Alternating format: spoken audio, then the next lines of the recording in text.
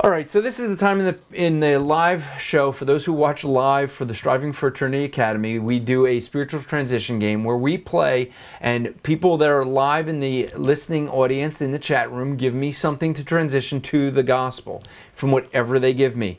Uh, I've actually been given two different things to do a transition from, and I have to combine them in one and then transition from that one to the gospel. So this is going to be a little bit tricky, and someone thinks that I cannot do it. Let's see how I can do. All right, so the, the topic for today is skunks and worms. Skunks and worms. All right, how are you going to do that? Let's see.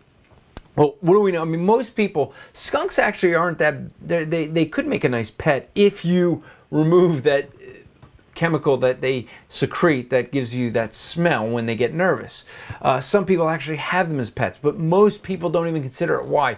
Because they have a defense mechanism that was created by God that allows them to avoid being attacked. That if they're running away from an, an, a predator, they lift up their tail and out of the back of their tail they squirt a scent that is just horrible. If you have ever smelt the skunk smell, you understand what it is. And and it just has that that smell of ickiness. I don't know if that's the best word, but it's you understand what I mean. That smell just it, it's it's offensive.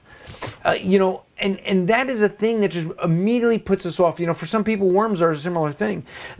You know, some people don't mind fishing, like say my wife, but my wife will not put the worms on the hook. That's my job. And so the reality is, some people just think of worms as these icky things. I remember when I was really little, my brother told me that the really red worms were blood suckers and that they would attach to your skin if you picked them up and they'd suck your blood. And so I had this notion that worms were bad. I had an immediate negative reaction to worms. If I saw a worm, I wanted to avoid it. If I smelled a skunk, I wanted to avoid it. Why? Because it, it had an immediate reaction within me that I recognized this is something bad. Now, the worms actually were harmless, but my conscience told me this is bad. You know, and God gives us a conscience so we can know right from wrong. We know good from bad.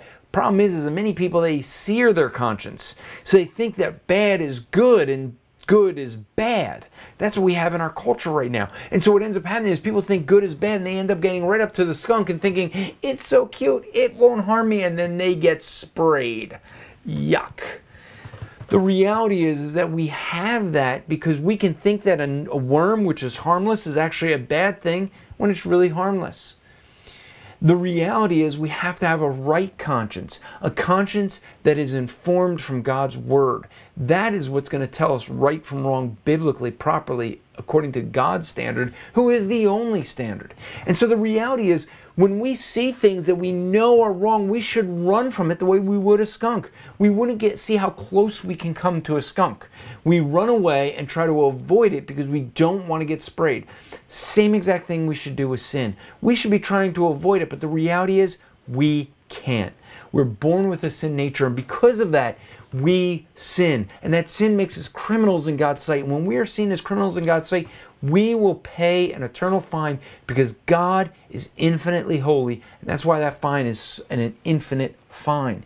It is because of that that we need the grace of God. What He did on that cross, when Jesus Christ, God in flesh, died on the cross and became a payment of sin for us, He sets us free by what He did on that cross.